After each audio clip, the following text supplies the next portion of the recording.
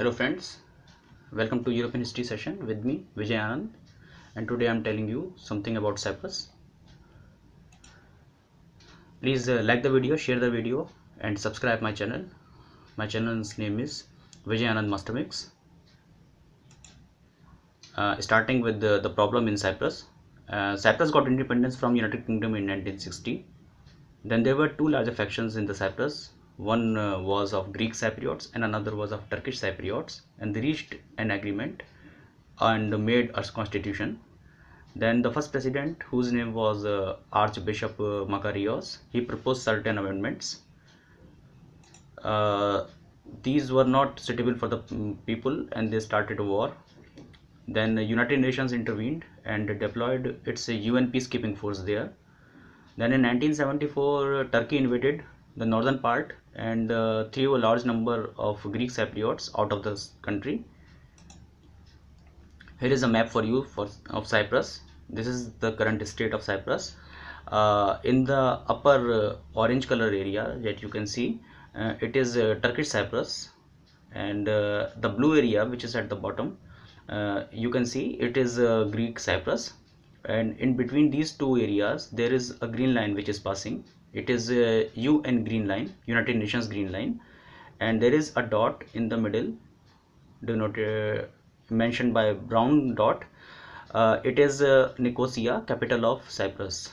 So it is in between. And there is there are two magenta areas uh, both under the control of United Kingdom. Uh, the eastern one is uh, Dekelia sovereign base area. And the bottom one the southern part area is Akrotiri sovereign base area. These two are still under the control of United Kingdom. Please like the video, share the video and uh, subscribe my channel. Uh, in the northern part, I must tell you something about that. Uh, it is uh, Turkey recognized it in 1983 and it is uh, called Turkish Republic of Northern Cyprus TRNC but uh, only Turkey recognizes it no other country in the world recognizes it so for other it is a disputed area still a part of Cyprus. Uh, something about green line of the UK UN pardon. Uh, it is a 100 kilometer buffer line. Uh, it is uh, several kilometers long at some of the places. Then uh, no development has taken place there because uh, no take responsibility of this line.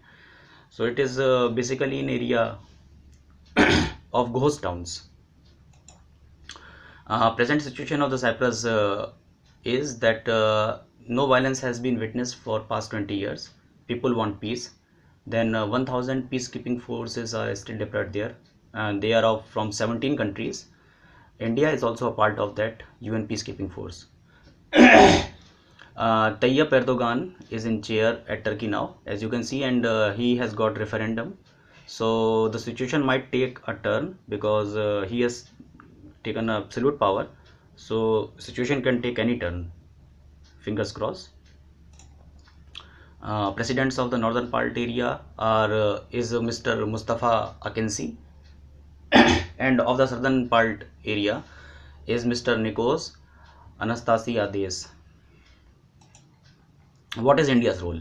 Uh, India says that uh, they will welcome the UN resolution on the other hand, the southern part area of the Cyprus says that India should play a major role, but they do not force India because India can bring peace and uh, can play a crucial role in ending the dispute.